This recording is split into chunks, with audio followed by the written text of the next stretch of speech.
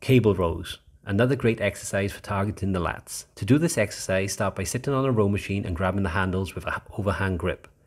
Then roll the handles back towards your chest and squeeze your back muscles at the top of the movement. Lower the handles back to the starting position and repeat for the desired number of reps.